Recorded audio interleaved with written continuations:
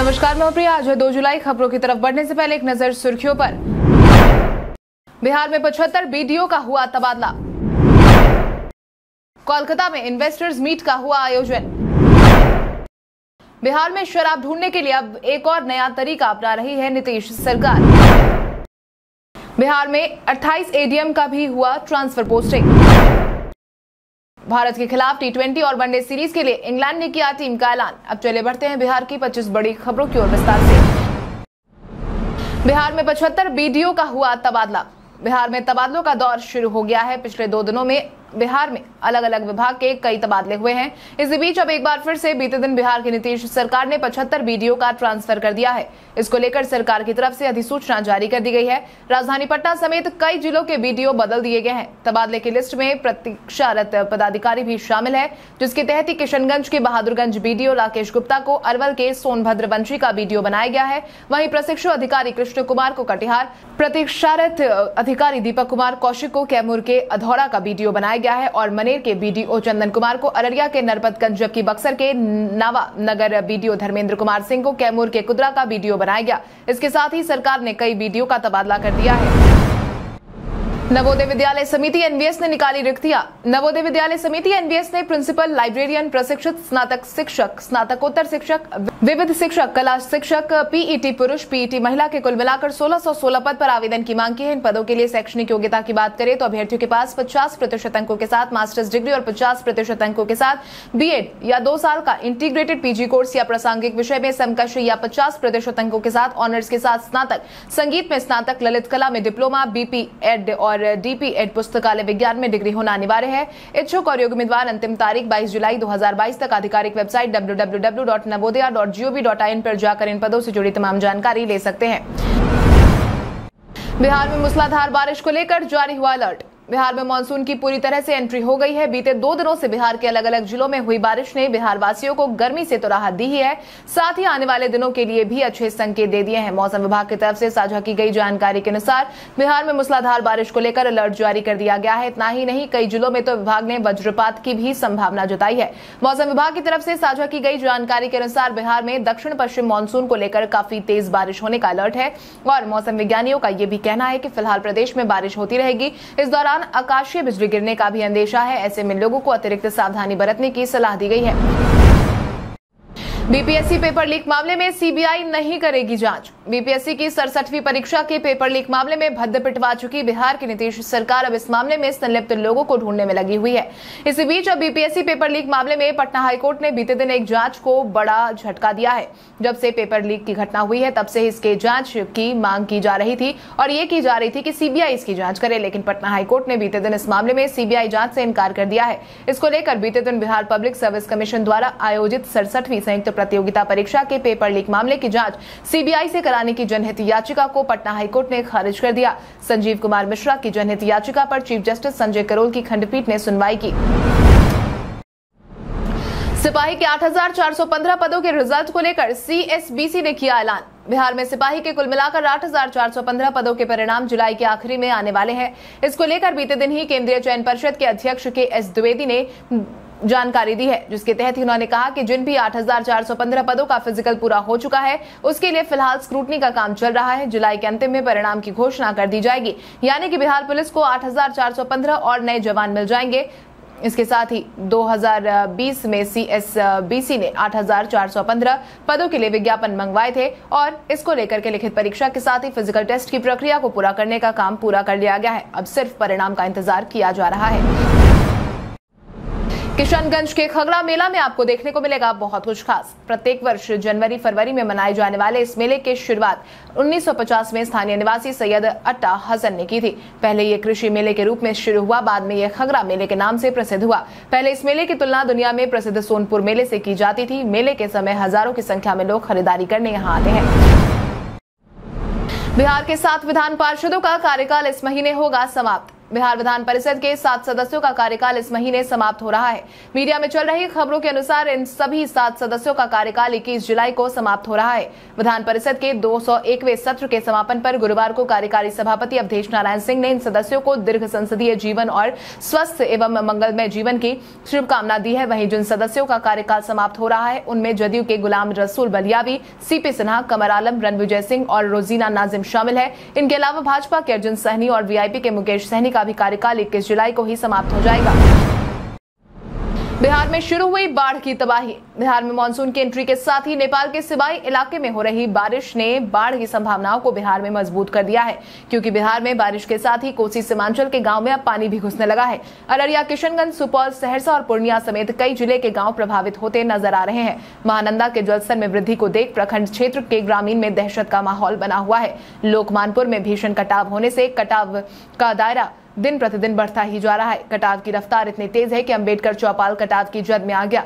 पूर्णिया में भी बाढ़ की स्थिति उत्पन्न हो गई है। पूर्णिया के बैसा प्रखंड क्षेत्र होकर गुजरने वाली महानंदा एवं कनकई नदी उफान उफनाने के कारण प्रखंड क्षेत्र के अधिकांश गाँव में बाढ़ का पानी घुस गया है। बिहार में 28 एडीएम का हुआ ट्रांसफ़र पोस्टिंग। बिहार में इन दिनों तबादलों का गजब दौर चल रहा है। इसी कड़ी में बीते दिन भी विभिन्न विभागों में बड़ा फेरबदल देखने को मिला, जिसके तहत ही सामान्य प्रशासन की तरफ़ से साझा की गई जानकारी के अनुसार बिहार में 28 एडीएम का ट्रांसफ़र कर दिया गया है। इससे पहले ही बड़े स्तर पर सीओ और बीडीओ का ट्रांसफ़र किया गया था, जिसके बाद बीते दिन एक बार फिर से अपर समाहर्ताओं का तबादला किया गया। मिली जानकारी के अनुसार रमन कुमार सिन्हा को पटना के अपर समाहर्ता सह अपर जिला दंडाधिकारी बनाया गया है। इसकी पूरी सूची सामान्य प्रशासन विभाग की से साझा कर दी गई है। कोलकाता में इन्वेस्टर्स मीट का हुआ आयोजन। बिहार में निवेशकों को आकर्षित करने के लिए बिहार उद्योग विभाग लगा हुआ है। इसी कड़ी में बीते दिन बिहार के उद्योग विभाग ने कोलकाता में इन्वेस्टर्स मीट 2022 का आयोजन करवाया था, जिसका उद्घाटन खुद उद्योग मंत्री सैयद शाहनवाज हुसैन ने किया। वहीं इस दौरान वो निवेशकों से रूबरू भी हुए, जिन्हें नहीं पता, उन्हें हम बता दें कि बीते दिन कोलकाता के पाँच सितारा ग्रेट ईस्टर्न होटल में सुबह साढ़े दस बजे से इस मीट का आयोजन किया गया। उद्योग विभाग और इंडियन चैम्बर ऑफ़ कॉमर्स के संयुक्त तत्वाधान में इस इन्वेस्टर्स मीट का आयोजन किया गया। इसमें बंगाल समेत पूर्वोत्तर क्षेत्र के कई उद्योगपति हिस्सा लेने पहुँचे थे। सरकार के एक फैसले ने लगाए बिहार में सौ फैक्ट्रियों पर ताले। बिहार में उद्योग को सुदृढ़ कर रही बिहार सरकार के एक फैसले ने बिहार में उद्योग धंधे के मामले में पीछे इसे धकेलने का काम किया है। जी हाँ, आपने सही सुना, उद्योग धंधे के मामले में पहले से ही पिछड़े बिहार को एक और बड़ा झटका लगा है। बिहार ही नहीं, पूरे देश में सिंगल यूज़ प्लास्टिक पर बीते दिन से रोक लगा दी गई है, जिसके बाद से इस सेक्टर में उत्पादन और बिक्री का काम पूरी तरीके से ठप हो गया है। इस फैसले के साथ ही बिहार में करीब सौ कटलरी यूनिट की मशीनें बंद हो गई है, साथ ही पचास हज़ार श्रमिक बेरोजगार भी हो गए हैं। इस सेक्टर में अब व्यवसायियों की करीब 320 करोड़ रुपए की पूंजी फंस गई है। वहीं सरकार के इस नए फैसले के साथ ही सरकार ने अब सिंगल यूज़ प्लास्टिक का विकल्प बायोडिग्रेडेबल मटेरियल को बताया है। आज बिहारी बर्थडे स्पेशल में हम बात करेंगे आलोक धनवा की। आलोक धनवा का जन्म 2 जुलाई 1948 ईसा में मुंगेर, बिहार में हुआ। वो हिंदी के उन बड़े कवियों में हैं जिन्होंने 70 के दशक में कविता को एक नई पहचान दी। उनका पहला संग्रह है, दुनिया रोज बनती है। जनता का आदमी, गोली दागो पोस्टर, कपड़े के जूते और ब्रूनो की बेटियाँ। हिंदी की प्रसिद्ध कविताएँ हैं। अंग्रेज़ी और रूसी में कविताओं के अनुवाद हुए हैं। उन्हें पहल सम्मान, नागार्जुन सम्मान, फिराक गोरखपुरी सम्मान, गिरिजा कुमार माथुर, सम्मान भवानी प्रसाद मिश्र, स्मृति सम्मान मिले हैं। पटना निवासी आलोक धनवा, महात्मा गांधी अंतर्राष्ट्रीय हिंदी विश्व स्तरीय वर्धा में कार्यरत थे। बिहार में शराब ढूँढने के लिए अब एक और नया तरीका अपना रही है नीतीश सरकार। बिहार में शराबबंदी को सफल बनाने में बिहार की नीतीश सरकार लगी हुई है। हालाँकि शराब तस्करी पर अभी भी कोई पूर्ण विराम नहीं लगा है। इसको ही देखते हुए अब शराब तस्करों के मंसूबों पर रोक लगाने के लिए राज्य के सिवाय इलाके में बिहार में प्रवेश करने वाले वाहनों की विशेष जाँच करने की योजना बनाई गई है। इसके लिए आबकारी एवं मध्य निषेध विभाग ने हाथों में पकड़े जाने वाले वाहनों के स्कैनर खरीदने का फैसला लिया है। मीडिया में चल रही खबरों के अनुसार इन मशीनों की खासियत होगी कि इनकी मदद से किसी भी वाहन के भीतर छिपा कर रखी गई शराब को बड़ी ही आसानी से पकड़ा जा सकेगा। बिहार के अभिषेक के गानों ने बॉलीवुड में मचाई धूम। बिहार से निकली कई प्रतिभाएँ आज बॉलीवुड में नाम कमा रही है, जिसमें अब एक और नाम बिहार के अभिषेक का जुड़ गया है।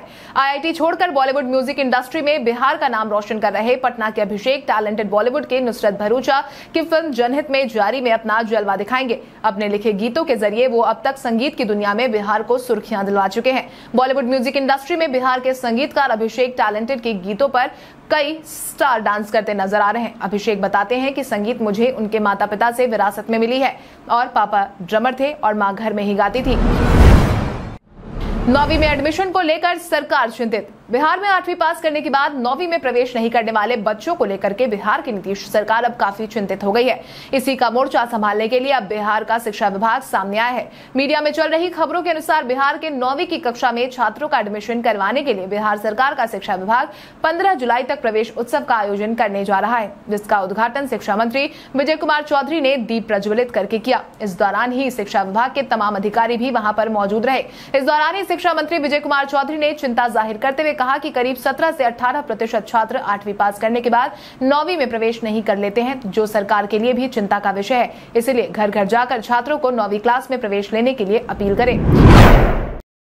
तेजस्वी के समर्थन में आए मांझी। सेना बहाली में अग्निपथ योजना को लेकर बिहार के विपक्षी दल लगातार विरोध प्रदर्शन कर रहे हैं। लालू यादव के छोटे बेटे और बिहार विधानसभा में नेता प्रतिपक्ष तेजस्वी यादव लगातार अग्निपथ योजना को लेकर केंद्र सरकार पर हमलावर है। इस बीच अब तेजस्वी को मांझी ने अपना समर्थन दिया है, जिसके तहत ही अग्निपथ योजना को जल्द से जल्द वापस लेने की मांग करते हुए उन्होंने कहा कि केंद्र सरकार को इस योजना को आज नहीं तो कल वापस लेना ही होगा। इस योजना पर फिर से विचार करने की ज़रूरत है, क्योंकि युवाओं में भारी असंतोष है। हालाँकि इन सबके बीच भले ही उन्होंने योजना का विरोध किया हो, लेकिन उन्होंने ये भी साफ़ किया है कि बिहार में एनडीए सरकार एकजुट है। बिहार का प्रतीक चिन्ह बदलने के फिराक में भाजपा, जदयू, राजद गुस्से में। बिहार में इन दिनों किसी भी मुद्दे पर भाजपा और जदयू की बन नहीं रही, जिसके कारण ही बिहार में एनडीए सरकार के अंदर खटपट की स्थिति देखने को मिल रही है। इसी बीच अब भाजपा ने बिहार के प्रतीक चिन्ह को बदलने की पेशकश कर दी है। मीडिया में चल रही खबरों के अनुसार बिहार के प्रतीक चिन्ह में उर्दू में बिहार भी लिखा है। भाजपा उस प्रतीक चिन्ह को चाहती है जो भारत के बिहार प्रांत के रूप में अंकित है। भाजपा चाहती है कि इस प्रतीक चिन्ह के बजाय संसद में इस्तेमाल हो रहे प्रतीक का उपयोग हो। भाजपा विधायक संजीव चौरसिया ने बिहार के प्रतीक चिन्ह के बजाय संसद में इस्तेमाल होने वाले प्रतीक चिन्ह की मांग की। भाजपा की इस मांग आरोप जदयू और राजद भड़क गई है। वाल्मीकि टाइगर रिज़र्व में गंडक नदी में मिले 148 घड़ियाल के बच्चे। बिहार में पर्यटन को बढ़ावा देने में लगी नीतीश सरकार। पर्यटन के क्षेत्र में एक के बाद एक विकास कर रही है। इसी बीच वाल्मीकि नगर के गंडक नदी में निरीक्षण के दौरान घड़ियाल के पाँच घोसले मिले, जिसमें से एक घोसले के अंडे को सियार और अन्य जीवों ने खा लिया। वहीं एक अन्य घोसले के अंडे गंडक नदी का जल स्तर बढ़ाने के कारण बह गए। अब अन्य तीन घोसले में 148 घड़ियाल के बच्चे मिले हैं। इनके बेहतर रखरखाव हेतु गंडक नदी में बघा से फतेहाबाद तक 140 किलोमीटर लंबे घड़ियाल अधिवास क्षेत्र बनाने का प्रस्ताव भेजा गया है।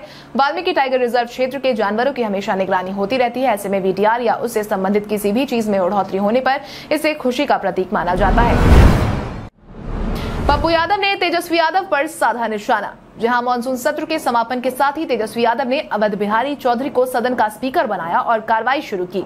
सदन की कार्रवाई शुरू होते ही माले विधायक महबूब आलम ने सरकार बनाने का प्रस्ताव भी दे दिया।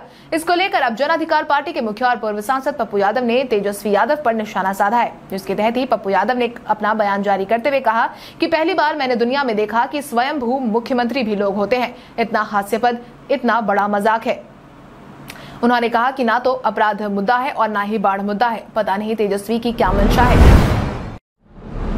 जदयू एमएलसी नीरज कुमार हुए कोरोना पॉजिटिव। बिहार के राजनीतिक गलियारे में कोरोना की एंट्री हो गई है। देश भर समेत बिहार में कोरोना के मामलों में जारी उतार चढ़ाव के बीच एक बार फिर से नेताओं के कोरोना पॉजिटिव होने का सिलसिला शुरू हो गया है। इसी बीच अब बीते दिन जदयू एमएलसी और पार्टी के मुख्य प्रवक्ता नीरज कुमार की कोरोना रिपोर्ट पॉजिटिव आई। उनकी कोरोना रिपोर्ट पॉजिटिव होने की पुष्टि बीते दिन ही हुई है, जिसके बाद उन्होंने खुद को आइसोलेट कर लिया। साथ ही लोगों से अपील की है कि जो कोई भी पिछले दिनों उनके संपर्क में आया है, वो अपनी जाँच ज़रूर करा ले। आपकी जानकारी के लिए आपको बता दें कि विधानमंडल के मानसून सत्र की समाप्ति के ठीक बाद नीरज कुमार के कोरोना पॉजिटिव होने की खबर आने से हड़कंप मच गया है। दरअसल पिछले कुछ दिनों से बिहार सहित पूरे देश में कोरोना के मामले बढ़ रहे हैं। भारत के इतिहास में आज की तारीख कई कारणों से दर्ज। अलाउद्दीन खिलजी ने सिवाना पर जब 2 जुलाई 1306 में आक्रमण किया, तब ये दुर्ग कान्हड़ देव के भतीजे चौहान सरदार शीतल देव के अधिकार में था। मैसूर के सुल्तान हैदर अली और अंग्रेज़ सेना में पोर्टो नोवो का युद्ध सत्रह सौ इक्यासी में हुआ। भारतीय भूवैज्ञानिक सर्वेक्षण की स्थापना 1916 में हुई। ब्रिटिश सरकार ने सुभाष चंद्र बोस को 2 जुलाई 1940 ईसा को विद्रोह भड़काने के आरोप में गिरफ़्तार कर लिया।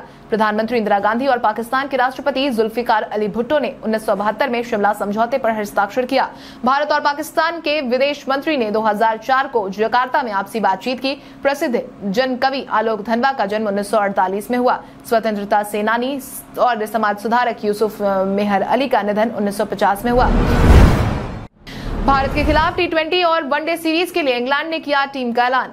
इंग्लैंड एवं वेल्स क्रिकेट बोर्ड ने शुक्रवार को भारत के खिलाफ आगामी टी ट्वेंटी और वनडे सीरीज़ के लिए टीम का ऐलान कर दिया है। योन मॉर्गन के संन्यास के बाद जोस बटलर पहली बार फुल टाइम कप्तान के रूप में टीम को लीड करते हुए नज़र आएँगे। टी ट्वेंटी के लिए चौदह खिलाड़ी और वनडे के लिए पंद्रह खिलाड़ियों की टीम का ऐलान किया गया है।